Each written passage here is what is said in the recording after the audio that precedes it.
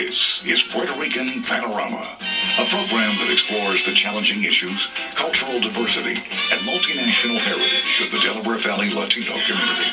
And now, here's your host, Diego Castellanos. Hello there. Welcome back. My guest on this uh, portion of the program is Emiliano Martin. He is a poet and uh, an author.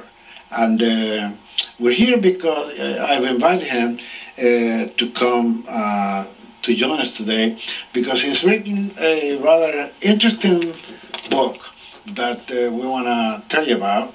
And, uh, uh, you know, uh, let's get to the book. It, it is called, The book is called 511 Aphorisms of My Humor.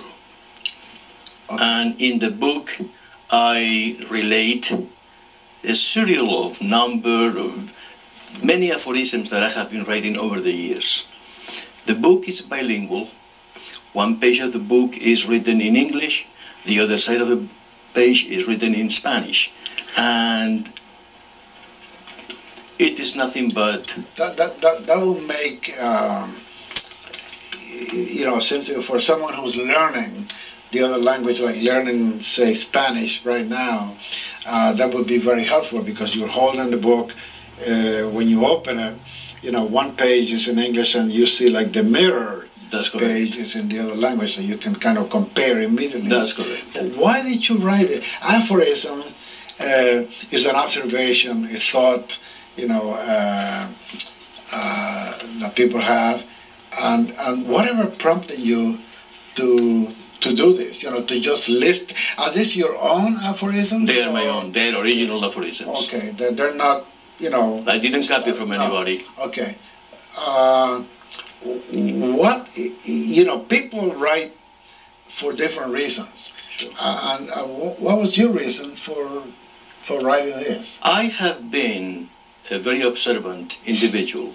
I like to observe people, situations in life, nature, and every time I observe something, I come up, I come up with a thought, and the thought comes up in a, in a kind of a poetic form. Okay. And when I put it on paper, I came up as an aphorism. Okay. Okay. Yeah, you you you're, you're very uh, attentive to to life and your surroundings. People, nature, life. Yeah. It's like a, I shouldn't say it is like a hobby, but it is something that I pay a lot of attention to. Now, this is not the the only uh, publication that you that you have issued. Uh, you you are basically a poet at heart, but you know ever since I, I heard that you were coming on the show, uh, I've been asking myself, uh, how do poets make a living? I mean, can anyone in this day and age make a living at writing poetry? Very few people make a living writing poetry. I I, I the so. arts are very difficult to make a living with. If on top of that, if we add the fact that poetry is the younger sister of the arts, very few people are interested in poetry. Therefore, the money making is not there. Not there. Most of the poets I know are people that truly, at heart, they write whatever come up. Yeah, yeah. Well, uh, you know, a, a, a lot of students in college that are, uh, you know, studying poetry and whatever, they end up either teaching, you know, literature or something related, or, or, or they end up doing what you did, you know, writing books. But uh, poetry in and of itself is not really something that you can live off. It's not a business operation. No. It is something that comes from the heart. We put it on, on paper. If we are lucky enough to publish a book, we offer it to the public, but it is just for Tell enjoyment. me why 511? The, the book, uh, let me let me show it to the viewers again. It's uh, 511. Uh, what is what what is the meaning of 511? Really, it came about spontaneously. I originally was going to write 500 aphorisms. Okay. And when I got to 500, I couldn't stop myself from writing.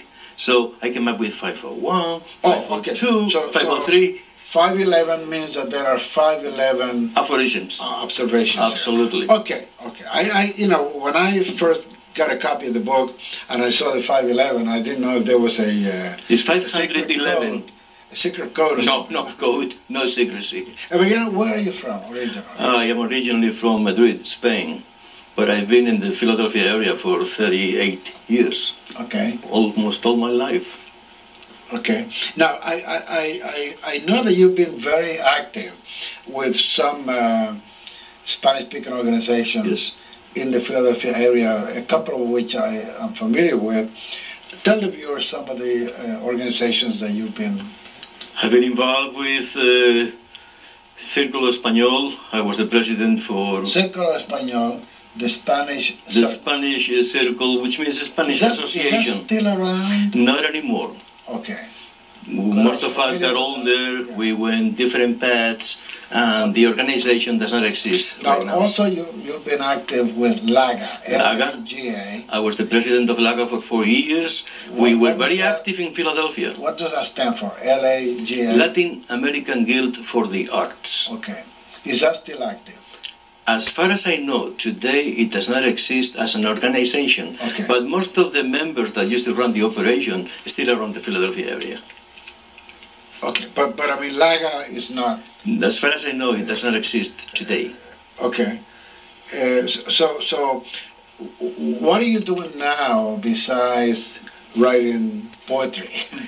To make a living, I work in, in What are you doing now besides writing poetry? to make a living, I work in engineering. Okay. I have a technical education. That is my background. That is how I make a living. But I have written so many books me a of favor. poetry. Yes, Uh, sir. read to the viewers one or two of these aphorisms. Absolutely. I'll be delighted. Do you have a favorite one or? Actually, they all are my favorites. Aphorisms Okay. are like your own kids. Hope and suspicion look at each other behind a veil. You know which one, which is my favorite? Tell me. Uh, uh, the one about the, maybe you know it uh, off the top of your head. The one about the rubber band. Oh. I believe it is at the very end. I would I would like to make sure that I say it correctly Because- because oh dear Lord. The one about the rubber band. Flexibility has its limits. Go and ask the rubber band. Uh, see, that hit home with me because, you know, we ask people to be flexible. And we ask, uh, you know, organizations to be flexible, but, you know, there is a limit. We only have about a minute, speaking of limits, we only have about a minute left on the program. So can you give us real quick uh, how we can uh, find out more information about the book?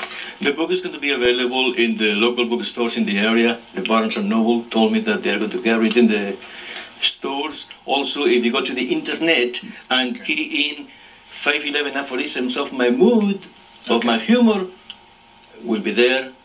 You, you can also uh, go online to uh, www.buybooksontheweb.com or you can call toll free 877 buy book. That's the toll free number. That's correct. Listen, Emiliano, thank you so much You- for sharing that with Thank us. you very much. And uh, thank you for watching. Have a good day and a good week.